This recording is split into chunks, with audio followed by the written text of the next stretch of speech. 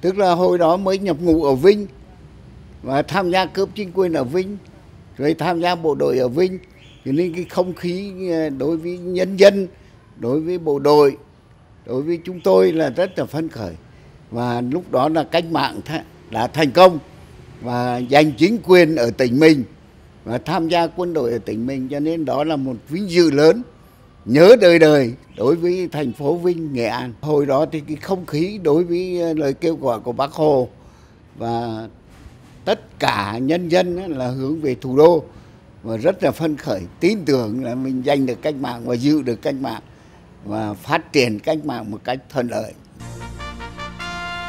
70 năm trở lại đây thì phải nói là, là riêng bác, gia đình bác là, là tốt, đời sống được phát triển, con cháu học hành, tham gia cách mạng hết, à, nói chung là được vào đảng, à, tham gia cách mạng à, đó là một cái trưởng thành. Còn nhìn với xã hội á, thì phải nói là xã hội phát triển rất mạnh, các cái ngành công nghiệp lớn, ví dụ như dầu khí, hàng không, giao thông, tất cả mọi cái ngành mà đầu ngành của công nghiệp á.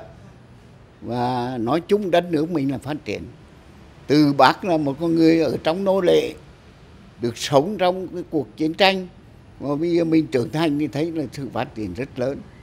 Quân đội ờ, từ quân đội du kích mà bây giờ phát triển lên quân đội chính quy hiện đại và được trang bị so với trước thì bây giờ là một một cách rất là mạnh mẽ. Có máy bay hiện đại có tàu chiến hiện đại có pháo binh hiện đại có tên lửa hiện đại. Thế còn đối với tất cả nhân dân đó, thì bây giờ là cơm no áo mặc đẹp, đời sống phát triển. Nói chung là trường trại được phát triển và học hành càng ngày càng phát triển. Có nhiều nhân tài mới.